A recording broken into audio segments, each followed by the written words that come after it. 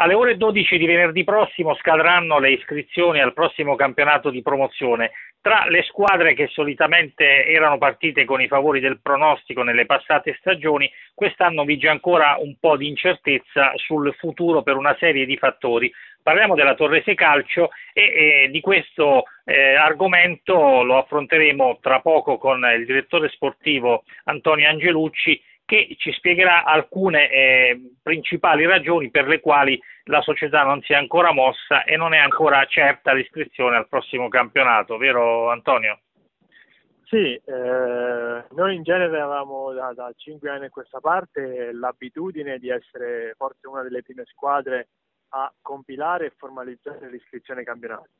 Purtroppo quest'anno per diversi fattori che sono un po' legati alle rispettive eh, situazione economica, un po' al discorso del nostro campo, che sono ormai due anni che andiamo a giocare nella vicina Scapa, e un po' agli ultimi episodi che ci hanno penalizzato fortemente nella finalissima playoff, ci stanno facendo riflettere più del dovuto sulla possibilità o meno di poter iscrivere la squadra al prossimo campionato. E praticamente che cosa pensi possa succedere da qui a venerdì?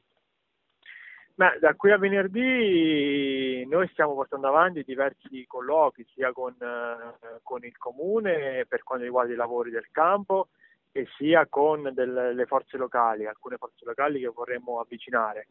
Eh, speriamo nell'arco di 24-48 ore di avere delle risposte, delle certezze e in base a quello decideremo il nostro futuro. È normale che eh, non riscriversi al campionato sarebbe un, un grosso rammarico, penso, per tutti, per tutta la comunità e quant'altro, però per noi che siamo abituati a, a partire ogni anno con l'obiettivo di mantenere tutte quante le promesse prese con tutti quanti quelli che collaborano all'interno della nostra società, non vorremmo ritrovarci quest'anno a dover, a dover venire meno a degli impegni importanti.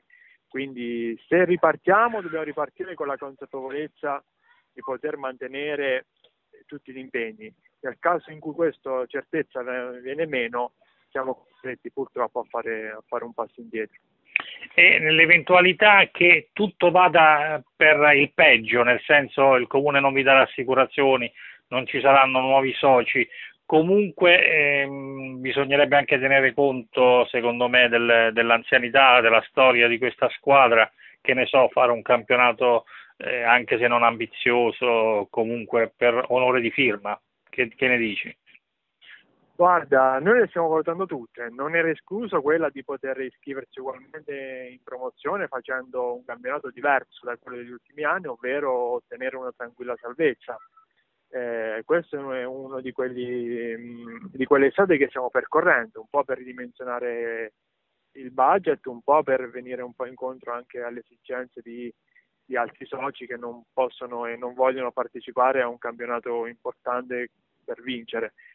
Eh, la cosa che ci, dà, che ci dà speranza, che ci dà fiducia di, nel poter andare avanti è quella che constatiamo che la nostra realtà, quella di Torre Passeri, per merito di tutti è diventata un punto di riferimento. Quindi abbiamo tanti sostenitori, sia nei tifosi, nei giocatori che fanno parte della nostra squadra, nel spronarci nell'andare avanti, perché tutti quanti vogliono far parte di questa società.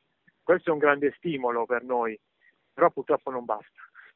E per quanto riguarda invece l'aspetto tecnico e organi- dell'organigramma dei calciatori, eh, ovviamente adesso parecchi credo si stiano già muovendo, interpellando anche altre squadre. Il mister Natale, per esempio, come siete rimasti con lui? Guarda, con lui come con tutti quanti i ragazzi siamo rimasti che noi entro mercoledì giovedì gli faremo sapere qualcosa. A tutti quanti abbiamo detto che si potevano sentire liberi di andare in qualunque altra parte, se lo ritengono opportuno, però ti dico, il, abbiamo avuto da loro una bellissima risposta, in primis dal mister. Tutti quanti aspettano fino all'ultimo il destino della Torrese. Nessuno vuole abbandonare questa, questa barca e tutti quanti vogliono ripartecipare con entusiasmo a questo progetto. Quindi questo è veramente una spinta forte. Anzi, io li vorrei ringraziare tutti quanti, ora non li posso elencare, però tutti quanti i giocatori mi hanno testimoniato, chi, chi al telefono, chi con un sms, eh, chi personalmente, ehm, la loro vicinanza.